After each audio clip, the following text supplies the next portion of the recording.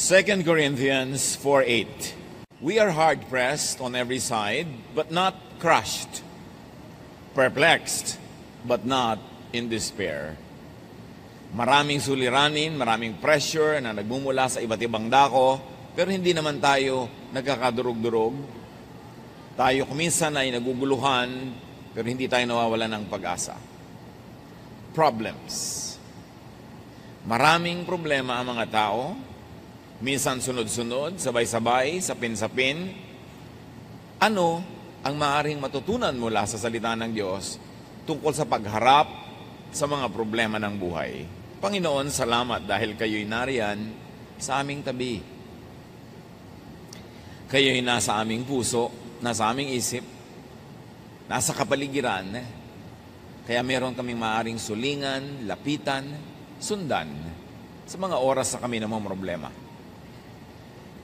Paka tibayan niyo po ang aming loob, payapain niyo po kami, at sa sandaling ito'y pakalinisin upang tumanggap na inyong mga pagtuturo, pagtutuwid, paggabay, pagpapaliwanag, nang sa gayon ang inyong pong magandang kalooban ng siyang maghari sa aming buhay. Kayong mangusap, kayong mangaral, hinihiling namin ang lahat ng ito sa ngalan ng iyong anak na si Jesus. What to do with problems? Ano nga ba ang pwede at dapat gawin? Unang-una, accept problems as parts of life. Dapat tanggapin na ang buhay talaga may kakambal na mga problema. Ganyan talaga ang buhay. Ecclesiastes 1.8 All things are wearisome, more than one can say. Nakakapagod ang napakarami mga bagay at yan ang katotohanan sa buhay. But it's very important to look up to Jesus. John 16:33 In this world you will have trouble, sabi ni Jesus, but take heart, cheer up. I have overcome the world.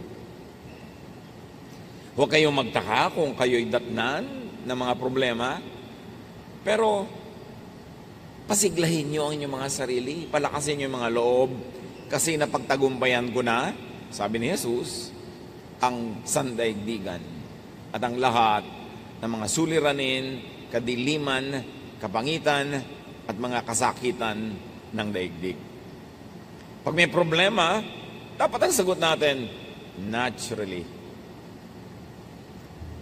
Mas hindi natural na walang problema. Dahil yun talaga ang naging kakambal ng buhay, lalo na na ang tao ay nawalay sa Diyos. But do not worry. Pag may problema, huwag atupagin ang mag-alala. Kasi walang nakakalutas ng suliranin sa pag-aalala. By worrying, you don't change a thing, you can only make things worse. Luke 21:14, make up your mind not to worry. Magpasya kayo na huwag maging balisa. Huwag mag-alala. It's a decision. It's a choice. As you can see, sabi, make up your mind. It's imperative. Isang utos, ibig sabihin, doable. Pwedeng gawin. Worrying is a habit. Yung mga lagi nag-aalala, lagi namang problema, lagi nag-iisip, kostumbre yan eh. Nakaugalian, nakasanayan. And anything that is learned can be unlearned. Pag nasanay tayo, natutong mag-alala, pwede rin tayong magsanay sa kabaligtaran nun na huwag mag-alala. Sasabihin niyo ba, alam nga namang hindi ako mag-alala. O, ano naman na pala nyo, kaaalala, kaiisip, meron bang nangyari? Na-solve ba? Philippians 4.6 Don't worry about anything, but pray. Pray about everything. With thankful hearts, offer up your prayers and requests to God. Pag may pinoproblema, pag may suliranin, pag may challenge sa buhay, don't worry, sabi ng Philippians. Why worry when you can pray?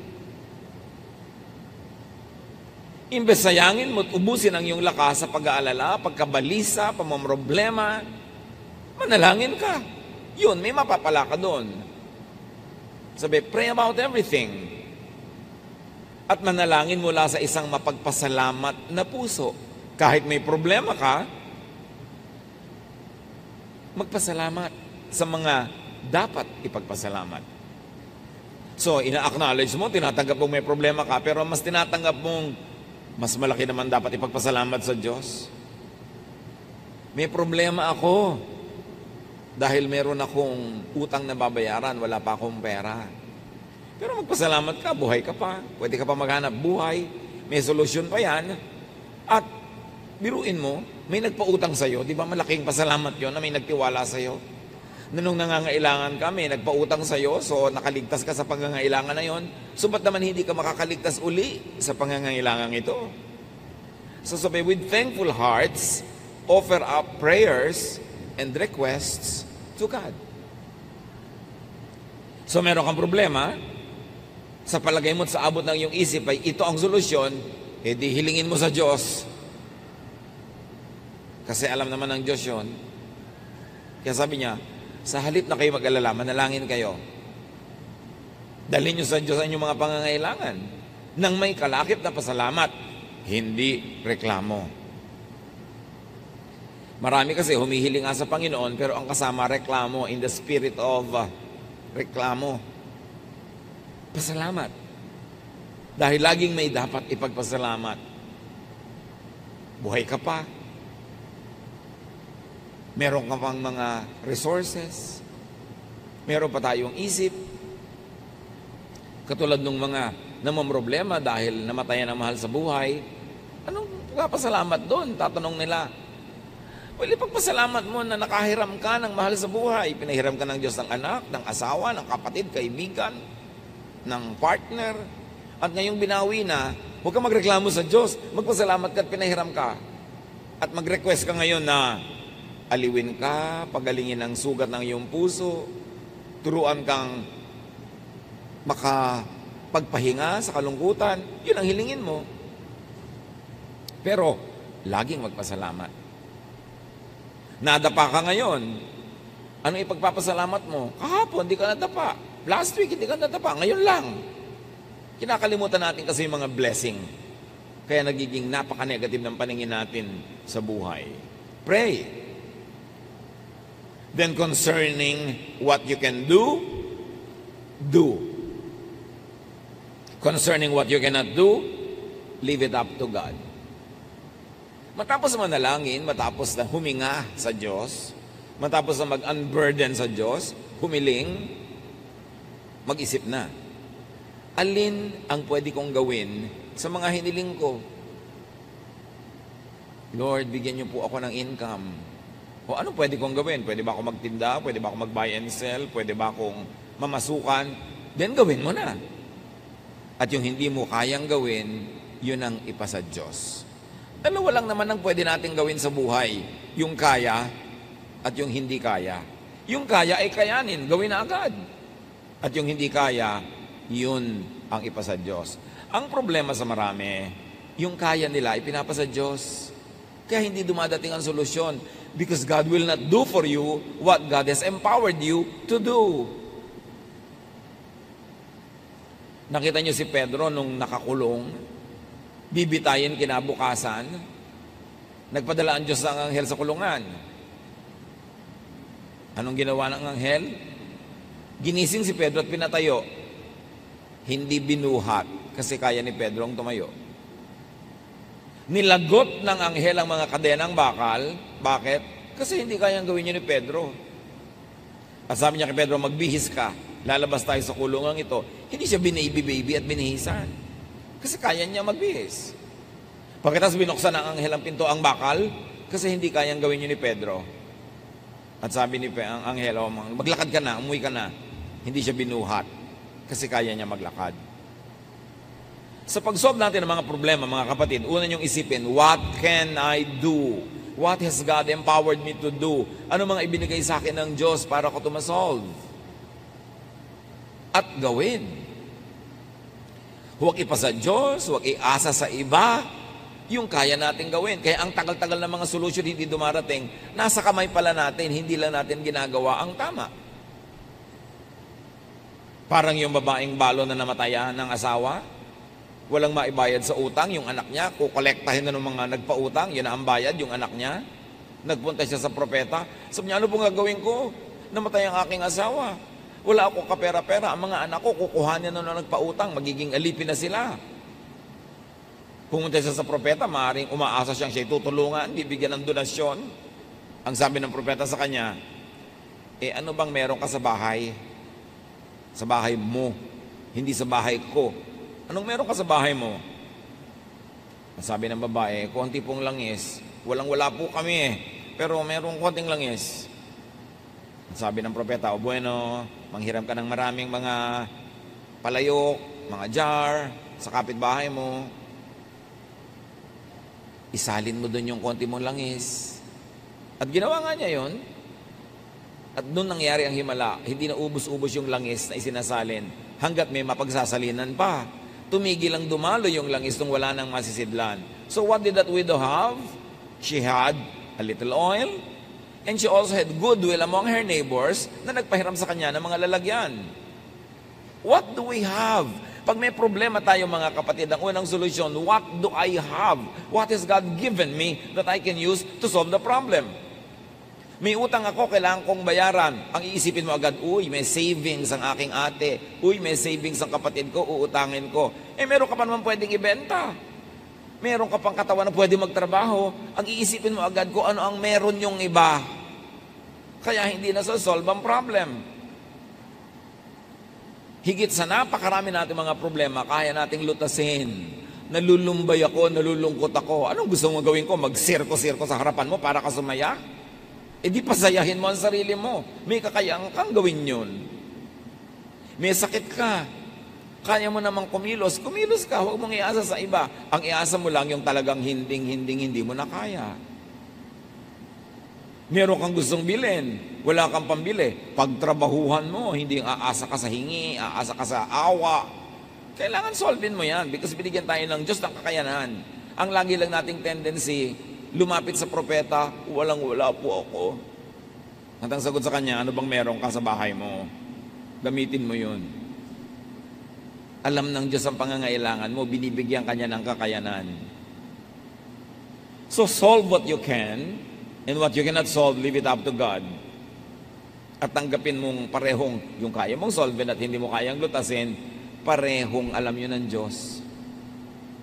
Ecclesiastes 7.14 When times are good, be happy. But when times are bad, consider this. God has made the one as well as the other.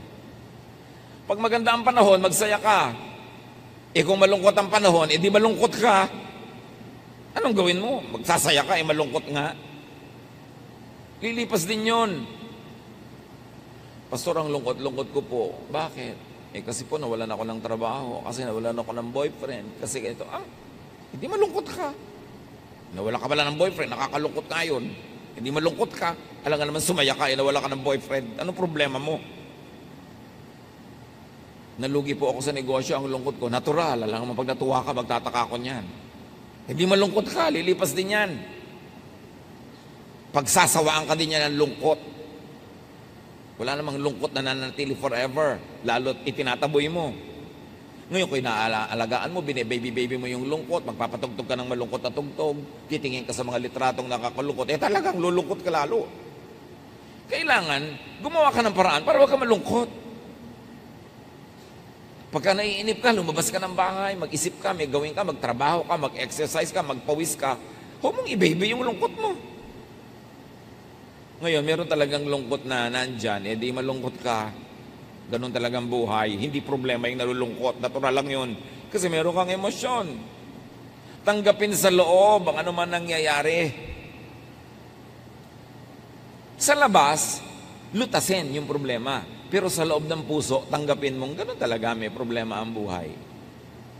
Nalulungkot ako, ganon talaga, nakakalungkot ang buhay ko minsan. Pero may gagawin ako sa labas para ako sumaya. Pero huwag yung tinatanggihan mo sa iyong kalooban yung katotohanan. Tanggapin mo yung katotohanan. Do not be in denial. nahihirapan ang loob ko, eh di mahirapan ka, pero naman may gagawin ako para gumaan ito. Pero hindi ko lalabanan yung katotohanan na nalulungkot ako kasi yun ang katotohanan eh. Pero may gagawin ka, panlabas, para yung nasa loob magbago. Huwag makipagtunggali sa sariling kalooban. Tanggapin ang dapat tanggapin. Nalugi ka sa negosyo, ang yaman mo dati, ngayon wala kang kapera-pera, tanggapin mo yun. Ganyan talaga nangyayari sa buhay. Wala ako ngayon kapera-pera. Tatanggapin ko yung katotohanan na yon, hindi na ako makikipag-contest doon, hindi ako makikipagbabag sa katotohanan kasi nangyari na. Pero sa panglabas, may gagawin ako mamumuhunan ako uli, magnenegosyo ako, maaring manghiram ako ng puhunan, mamasukan ako, may gagawin ako. Pero sa kalooban ko, hindi ako makikipaglaban sa katotohanan. Ito ang katotohanan ko, tatanggapin ko to. Then buo ang yung loob, nahaharapin ang yung buhay para buuin ito uli. Do not problematize what cannot be solved. Huwag mo nang problemahin kung yung anak mo talaga napakahina sa arithmetic kahit ipagmudmuran mo siya sa lahat ng bato sa mundo, hindi pa rin siya tatalino sa arithmetic. May mga bagay na tinatanggap kasi hindi mo kayang palitan. Ngayon, hahanapin mo na lang yung iba niyang kalakasan, iba niyang katangian, at doon ka mag-operate. Huwag mong hanapin yung wala. Ang dapat mong tamasahin, i-develop, yung nandun. Huwag mong hanapin sa asawa mo, sa nanay mo, sa kapatid mo, yung wala sa kanilang likas sa pagkatao. Ang hanapin mo, yung nandun talaga, ipagdiwang mo yon para ka mag wala na po yatang solusyon, itong ugali ng anak ko, itong ugali ng asawa ko. Eh, wala palang solusyon, di, hindi problema. Tanggapin mo para tumahimik ang iyong kalooban. Ecclesiastes 1.15, What is crooked cannot be straightened what is lacking cannot be counted. Ang talagang liko, hindi maitutuwid. Nilikha talaga yun, sinadyang liko. Huwag mo nang tuwirin. Yung pag tinuwid mo yun, dun mali. Kasi liko talaga yun. At yung wala, huwag mong hanapin. Yung wala, wala. Lalong-lalo yung mag-asawa na ini-expect mo, pupunta sa event, nakita mo, husband lang o wife lang, hinahanap mo pa, nasa ng wife mo? Nasaan ang husband mo? Gusto mo sabihin, nag-away kami kanina. Hindi ko kasama ngayon. Gusto mo pang marinig yun. Huwag ka naghahanap ng wala. Lalo sa mag-asawa. Pag wala yung isa, alam mo na, either talagang may ginawa o nag-away sila. Gusto mo pang uriratin. Bakit wala? Huwag nyo nang hinahanap ang wala. Why struggle? Why stress yourself. Do not problematize a non-problem. Just accept it and live with it. Kahit sa anatomy ng katawan ng tao, meron ka talaga hindi kayang baguhin eh. Tanggapin mo. Ipagdiwang mo. Ang lapad-lapad-lapad po ng noo ko. Eh, paano naman natin pakikitirin ang noo mo? Magbabawas tayo ng bungo mo. Patungan mo ng plato. Lagyan mo ng florera, lagyan mo ng drawing, gawin mo, celebrate it. Instead of worry about it. Pero mo ang lapad ng noo mo. Pwede ng reflector yan pagka may madilim. So, bakit mo problema yun? Hindi mo naman kayang palitan. Matthew 6.27, Can any one of you, by worrying, add a single hour to your life? Sa pag-aalala nyo ba naman ba, eh kaya nyo dagdagan kahit isang oras man lang ang buhay nyo? The obvious answer is no. And the obvious lesson is, so why worry? Nasa abroad po ang asawa ko, isang taon pa bago bumalik, lungkot na lungkot po ako. Eh di gumawa ka ng paraan para huwag ka malungkot. Kasi hindi pa naman talaga babalik yun hanggang hindi bakasyon.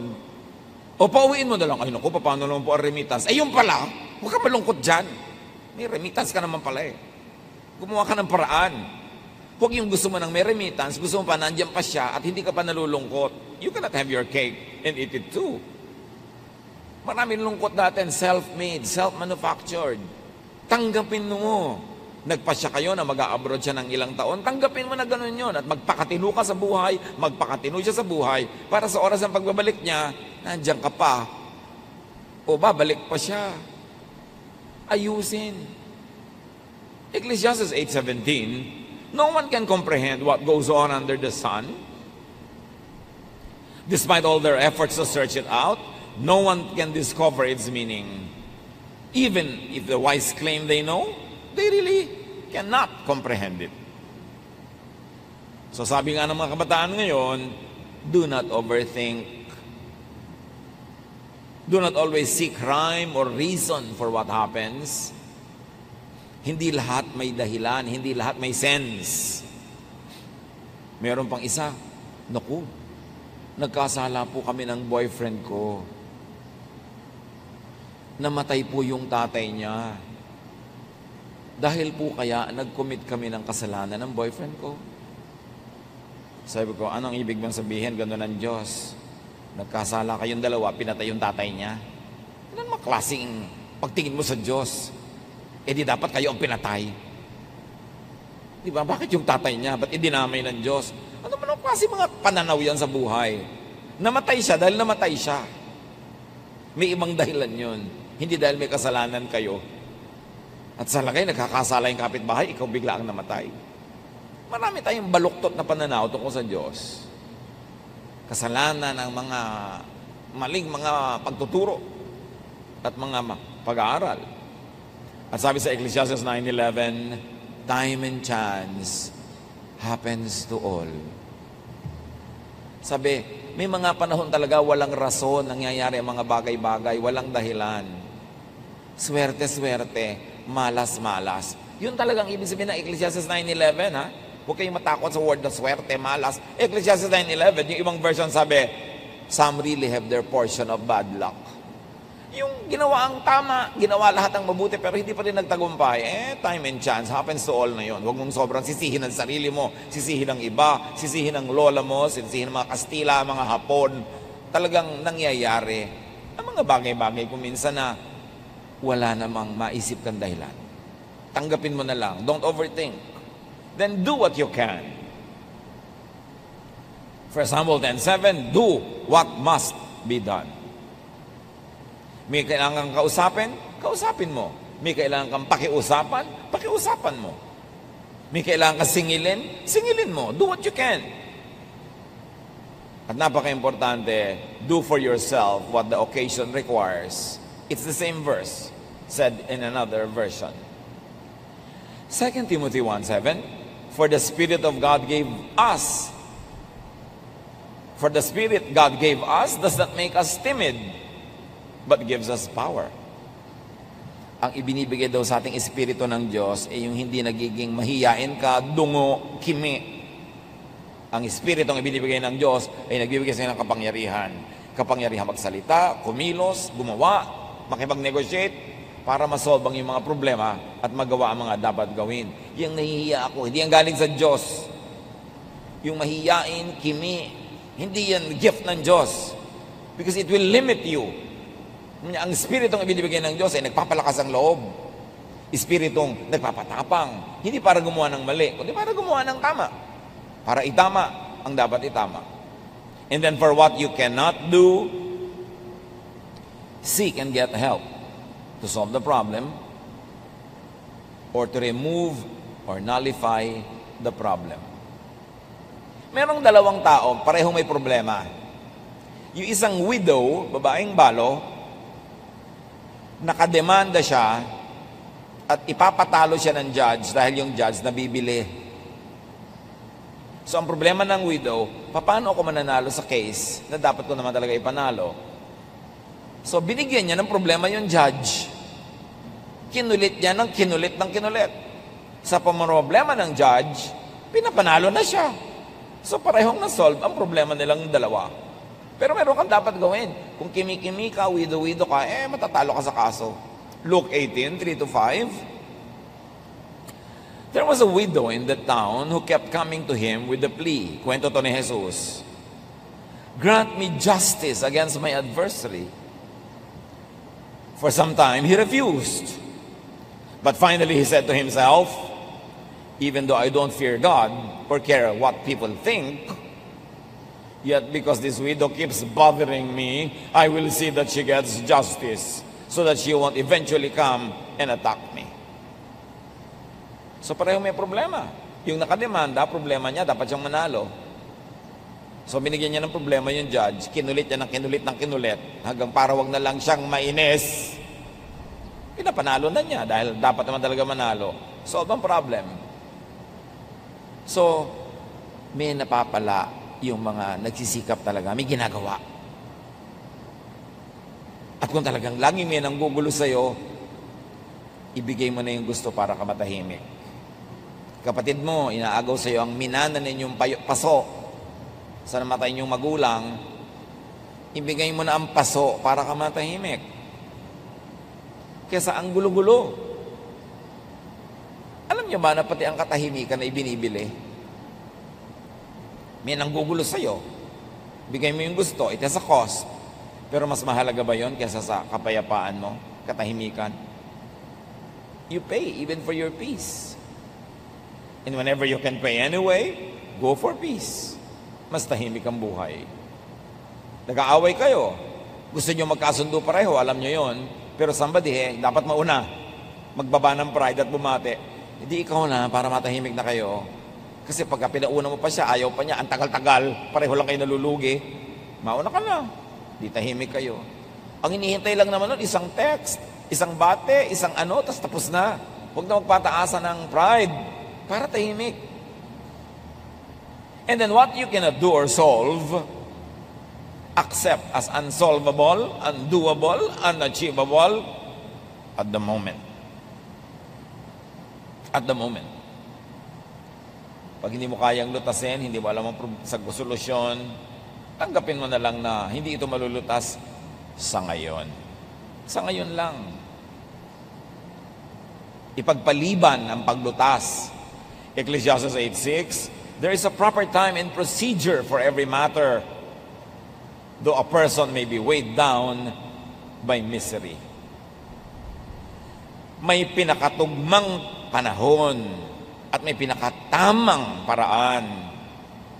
Kahit pa nga ngarag na ngarag ka na ngayon sa pamamroblema, merong mga dapat tanggapin na hindi pa talaga ito masasolve sa ngayon. At pagka ganon, freeze problems that cannot be solved at the moment. Parang ulam na hindi mo pa pwedeng lutuin ngayon, lagay mo sa freezer. Ganon din ang mga problemang hindi mo pa kayang lutasin ngayon, wala pang malinaw na solusyon, ilagay mo sa freezer and attend to them at the right time. Kailan po ang right time? Malalaman mo, mararamdaman mo pag right time na na pwedeng solven. Pero kung nararamdaman mo ngayon na wala pang solusyon, mas mainam na huwag mong galawin. Kasi hindi mo alam. Parang yung mga archaeologists, pag naguhukay sila sa lupa ng mga iba't ibang uri ng kayamanang pangkulturang artifacts, may mga pagka nahanginan na sisira, merong pagka na-expose na biglang nabubulok, eh ang tagal-tagal hindi nabubulok nung nasa ilalim ng dagat o nasa ilalim ng lupa. So kumukuha lang sila ng konti, tapos iiwan nila yung maraming bagay, tatabunan nila uli. Bakit? Kasi hindi pa nila kayang solve it ngayon eh, yung preservation issues, hindi pa nila kayang lutasin yung mga tanong tungkol sa mga bagay na yon, saka na. May mga ganon din. Kahit problema na mag-asawa, pinipilit mo, ngayon na, ngayon na, sabihin mo na sa akin, may tama pa rin panahon. Pag premature, na pag-usapan agad, hindi kayo handa pareho, lalo lang nakakasira. Ecclesiastes 3, 1 and 11, There is a time for everything and a season for every activity under the heavens. God has made everything beautiful in its time. May panahon ang lahat ng bagay. Huwag madaliin, huwag ding huli, dapat tamang panahon. Parang kawayan, ang mga kawayan, alam ng matatanda nung araw, dapat tinataga sa panahon. Hina-harvest sa bare months. September, October, November, December. Pag doon mo pinutol yung kawayan, hindi siya bubukbukin. Or baligtad, huwag kang harvest sa bare months. Basta isa sa dalawa, i-google nyo na lang. Pero ang mahalaga, may tamang panahon.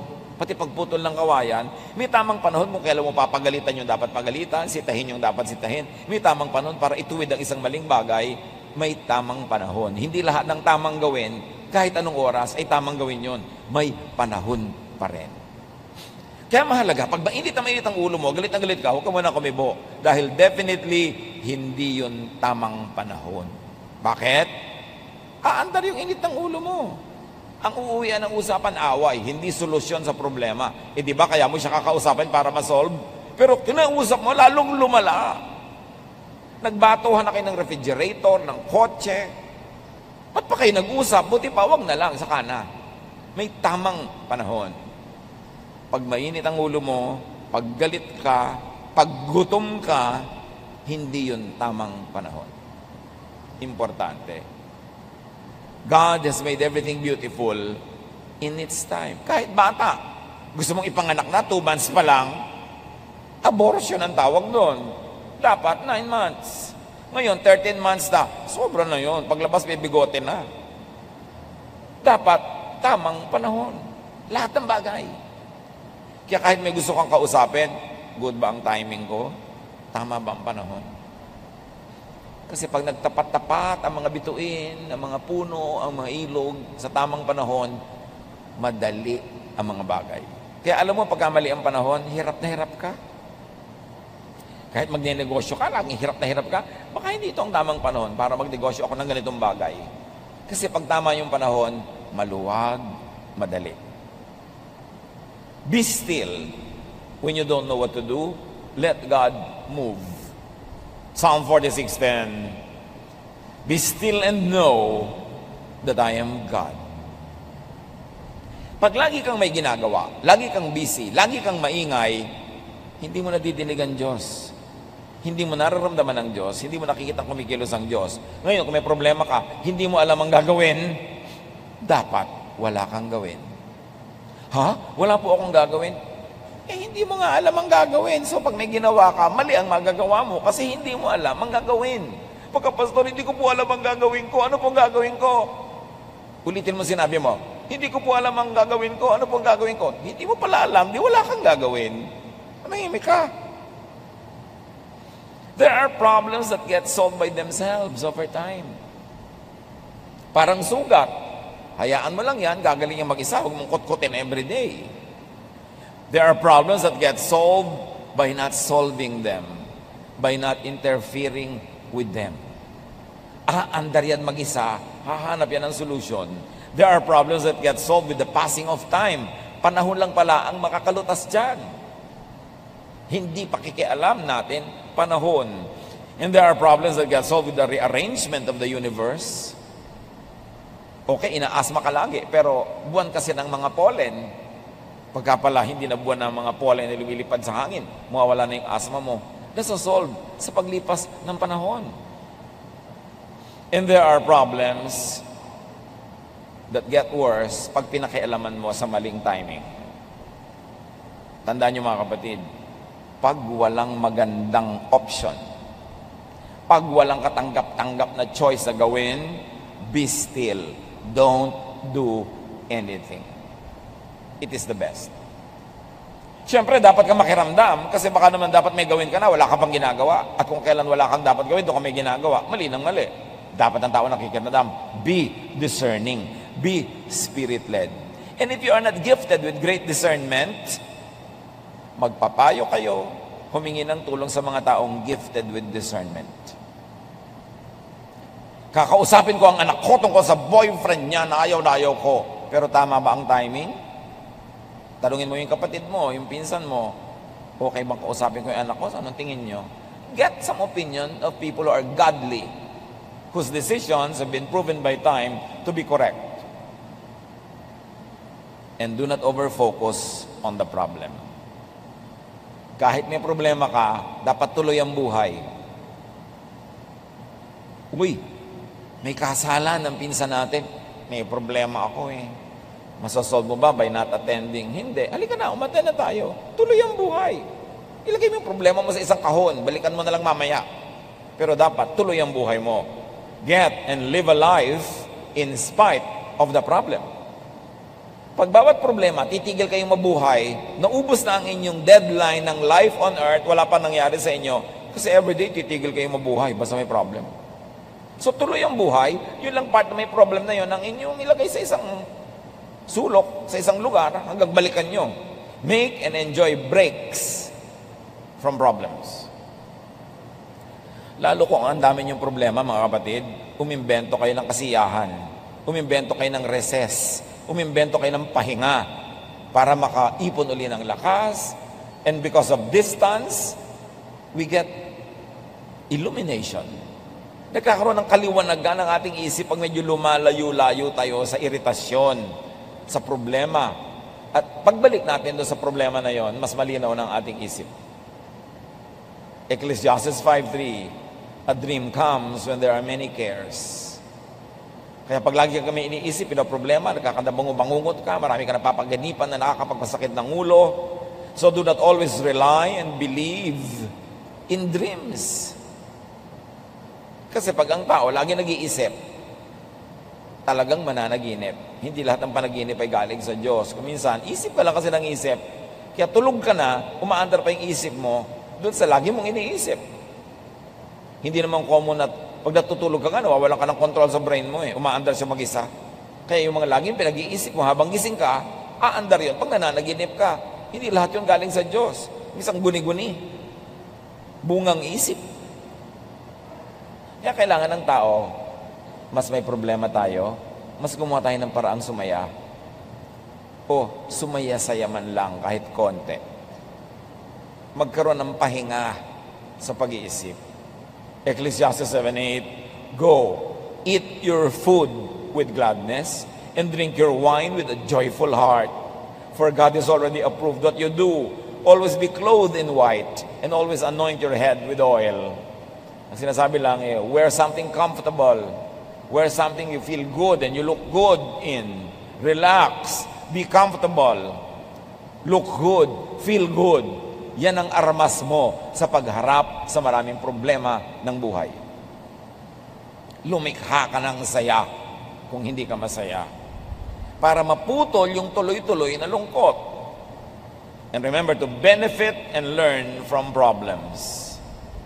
Everything that happens is a blessing to those who love God and are called according to His purpose. Because problems are great teachers.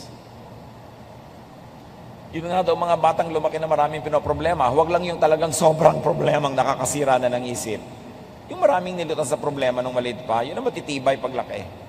Yan ang mga mahuhusay ang pagkatao, marunong makiramdam sa kapwa, marunong makisama. Kasi maraming pinroblema. Proverbs 24:16, Though the righteous fall seven times, they rise again. So huwag problemahin na huwag magka-problema ang inat ating problemahin ay how to be righteous. Because when the righteous fall, though they fall seven times, they will always rise again. Be enriched, seasoned, developed by problems, especially trials. Pag dumadating yung problema o trial, isipin mo, lalampas din ito. Anything that will not kill me, will enrich me. So pagka hindi ka napatay ng problema, edi ikaw ang nabuhay, pinayaman ka at pinalakas ng problema na yon. So malilipas din ito. Mga kapatid, pag dumadaan kayo sa sobrang dilim, sobrang bigat, sobrang hirap, sabihin nyo ito, this too will pass. Lilipas din ito. Hindi ito forever. James 1, 2 to 4, My friends, be glad even if you have a lot of trouble. You know that when you learn to endure by having your faith tested, but you must learn to endure everything so that you will be completely mature and not lacking in anything. Sabi ikatuwa nyo, pag may dumarating na mga hirap at suliranin at pagsubok, kasi pag napagtagumpayan nyo na yan, you will end up better, richer, wiser person. Anticipate nyo na malalampasan nyo yan. At pagkalampas nyo, better na kayo dapat. Problems can make you better or bitter.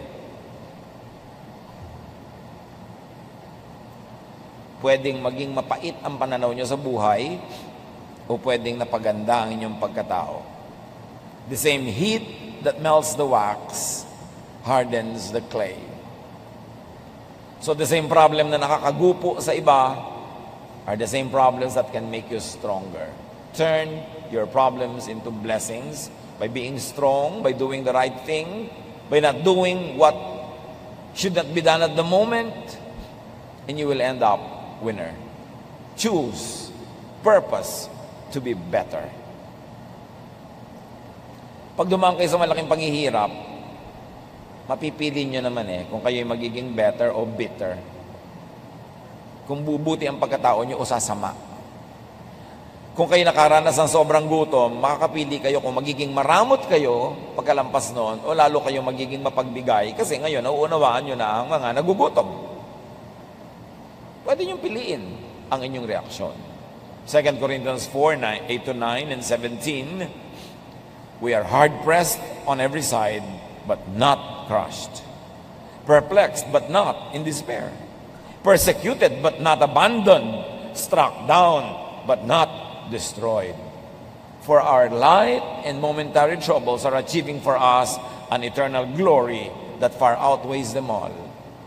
Of course, the original context of the verse is about spiritual persecution because people are godly. But the universal idea behind this verse can be applied in our situation anywhere, anytime.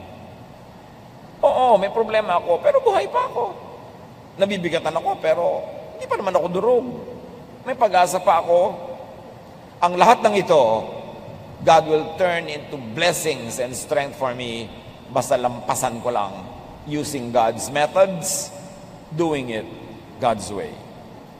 Philippians 4 12 to 13. I know what is best to be in need. I know what it is to be in need. And I know what it is to have plenty. I have learned the secret of being content in any and every situation, whether well fed or hungry, whether living in plenty or in want. I can do all this through Him who gives me strength. So sa meron at sa wala, sa marami at sa konti, sa malamig at mainit, sa hirap at ginhawa, malalampasan ko ang lahat ng ito dahil pinalalakas ako ni Jesus. Yan ang dapat wag lilimutin. And then avoid and minimize possibilities of having problems. Kanina, how to face problems. Ngayon, paano nga pa ba natin mapapakonti ang posibilidad na magkaroon tayo ng maraming problema? O matalo tayo ng problema? One, empower, strengthen, enrich yourself. Ang daming problema, pera lang ang katapat. So, para maghanda tayo sa mga darating na problema, make money. Save money, invest money, earn money. Kasi maraming problema talaga may katapat na peso sign. Ecclesiastes 11, 1 to 2 or 6. Ship your grain across the sea. After many days, you may receive a return. Mag-export ka daw, magtinda ka. At pagkalipas ng ilang araw, may tubo ka na. Invest in seven ventures? Yes, in eight. You do not know what disaster may come upon the land. O mag-invest ka pero mag-diversify. Magtayo ka ng maliit na tindahan, mamuhunan ka, mamasukan ka, ganito, magganon ka. Marami kang gagawin. Kasi hindi mo alam kung saan ka tutubo at saan ka malulugi. Alin ang magkiklik, alin ang hindi. Do not put all of your eggs in one basket. Kailangan, marami kang pwedeng asahan. Kasi sabi, hindi mo alam kung ano mga darating na mga hirap eh.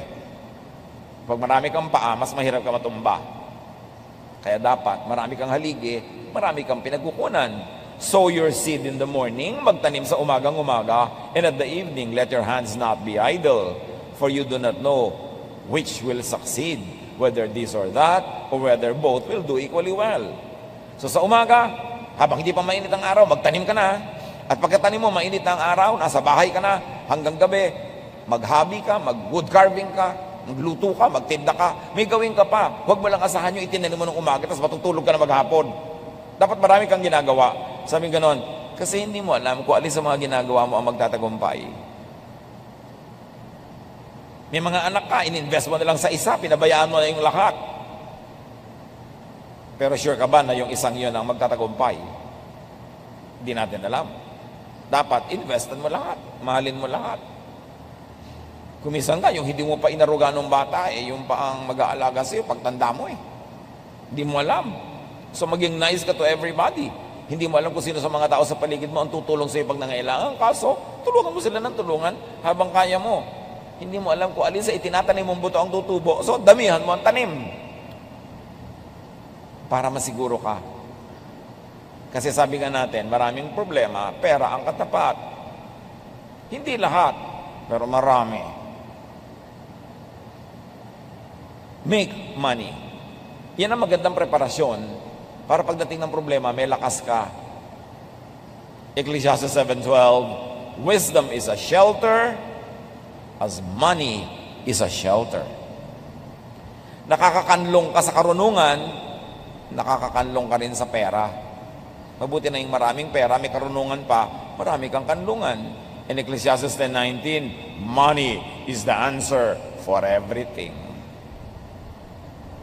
Siyempre, may exaggeration involved, pero ang laki ng truth. Mga pera lang ang katapat niyan. Marami ka ng problema, di ba? At lagi nating sinasabi mga kapatid, kung ang problema ay may price tag, solvable. Ang mahirap na problema yung walang price tag. Kaya dapat ma-eliminate na yung may price tag. Ma-solve mo na, may paghahanda ka dyan. And very importantly, how do you prepare for troubles in life? Make friends. Make allies. Dapat marami kang kaibigan, marami kang kakampi para pagdating ng problema, may tumutulong sa'yo. Walang paghahanda sa problema, sa kasakitan, sa kinabukasan, yung mga taong nakikipag-away sa kapitbahay, nakikipag-away sa sariling mga kapatid, nakikipag-away sa mga katrabaho, kaaway ang lahat. Dahil darating ang problema, wala kang karamay. Nakakatiyak ka ba na lagi kang malakas? Na lagi mong kayang gawin ang mga dapat mong gawin? There are times in our lives when we live only out of charity na nabubuhay lang tayo at nadudutungan ang buhay natin dahil sa awa ng iba. At dahil pwedeng dumating ang ganong pagkakataon, ang isang malaking paghahanda sa ganon, makipagkaibigan, makipagmabutihan, makipagkapwa-tao, makipagtulungan para magandang preparasyon yun para sa sarili mo rin pangangailangan. Proverbs 12.26 The righteous choose their friends carefully. In Proverbs 18.24 One who has unreliable friends soon comes to ruin. But there is a friend who sticks closer than a brother. Malaking kayamanan ng mga kaibigan na alam mong dadamayan ka. Napakalaking kahangalan na makipag-away kung pwede ka namang makipagkaibigan. Yung magtaray, magsungit. Inihahanda mo ang sarili mo sa panahon na walang tutulong sa'yo. Yabang yan eh. Kasi akala mo lagi mong kaya ang sarili, kaya mo maglakad, kaya mo bumangon, kaya mo tumayo. No. You don't know what a day may bring forth. Hindi natin alam kung ano ating sasapitin. Ecclesiastes 4, 9 to 10. Two are better than one because they have a good return for their labor. If either of them falls down, one can help the other up. But pity anyone who falls and there's no one to help them up. Ang dalawa daw ay higit na mabuti ka sa nag-iisa lang. Dahil mas mag enjoy sila sa buhay, magkakatulungan sila. Pag may isang nadapa, meron isang pwede magbangon. Kawawa naman daw ang taong pag nadapa, wala man lang magbabangon. At baka nga tapakan pa siya para lalo siyang lumubog sa lupa. Dahil bad record. Dahil walang pinakisamang mabuti. Obserbahan nyo yung mga namamatayan. Alam na alam nyo yung maraming kinaibigan, maraming naging relasyon, nakipagmabutihan, ang daming nakikiramay. At kitang-kita mo yung ano ba naman itong mag-ina na to na namatayan ng tatay at asawa. Wala man lang ni isang tao dito sa lamay. Wala kaya silang pinakisamahan? Hindi ba sila nakipagkaibigan kahit sino man? Liba na lang bagong lipat sila sa isang lugar na wala talaga silang kaibigan at kamag-anak. Pero doon mo makikita. Kaya alam nyo yung may church, tas active ka sa church, tumutulong ka sa church, active ka sumasali sa mga activities. Pag nakasakit kami, dumadalaw. Pag namatayan kami, nakikipaglamay. May mga nag-aambag, may mga tumutulong. Napakalaking social investment. Huwag na natin sabihin spiritual investment. Doon tayo sa mas mababa. Ang laking social investment kung active kayo sa church.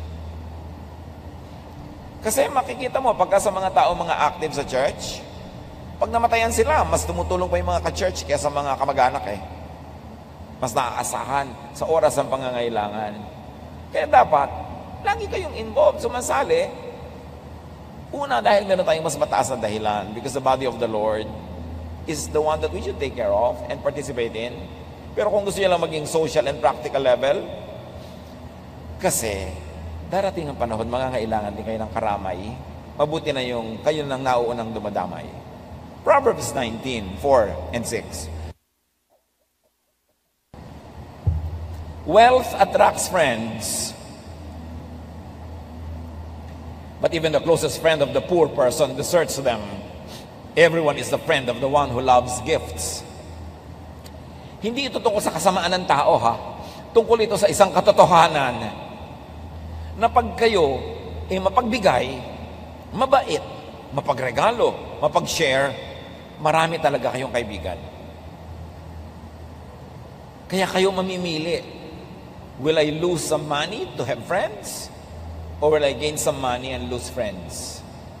It's a choice. At dahil napakasarap ipakisama ang pera, isa yan sa mga pinakamasasarap ipakisama kung meron ka, magpakain ka, magregalo ka, talaga ang mga tao magiging malapit sa iyo, natural. Alam nga namang palautang ka, palahingi ka, lapitan ka, natural hindi. So, gawin mo na very productive ang iyong buhay para meron kang income for yourself, may sobra para ipamigay mo. Dahil ganun talaga ang friendship. Mas umuunlad, namumulaklak, humahayo, guma- gumaganda ang amoy, humahalimuyak.